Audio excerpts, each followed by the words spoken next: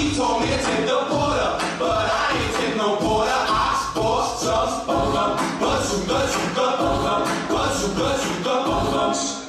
Yo, my mom, she gave me a dime. She told me to buy a lime, but I ain't buy no lime. Instead, I bought some bubble, bazooka, bazooka, bubble, bazooka, bazooka, bubble.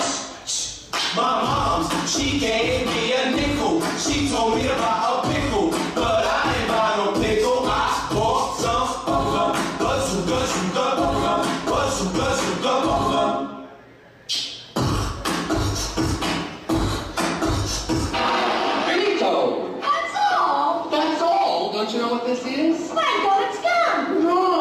the most amazing, fabulous, sensational gum in the whole world. What's so bad about it? This little piece of gum is a three-course dinner. Oh, no, roast beef, but I haven't got it quite right yet. I don't care. Oh, I wouldn't do that.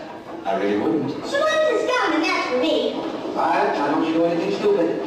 What's it taste like? It's tomato soup. It's hot and creamy. I can actually feel it running down my throat. Stop, don't. Why doesn't she listen to Mr. Wonka? Because, Charlie, she's a nitwit. It sure is great soup. Hey, the second course is coming up. Roast beef and a baked potato. Mmm. With sour cream? What's for dessert, baby? Dessert? Here it comes.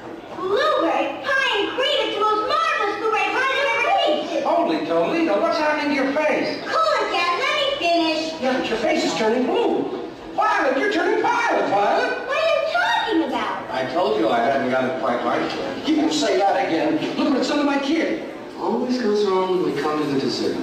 Always.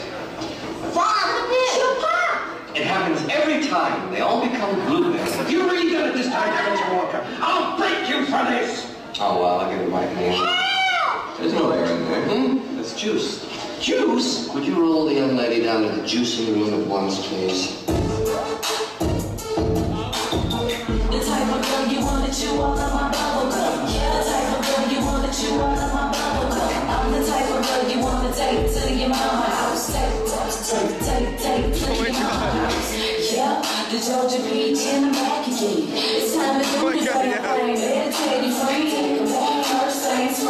Mess around with no man who won't eat her. It's time to get straight. These suckers trying to get tricked. You know you do it, boys. I'm trying to keep it pimpin'. Got that juicy fruit certified bouillon. He going down, chewing on my bubble gum. Sometimes you gotta direct them like traffic. I don't come quick, but when I do, it's fantastic. I get him wide open,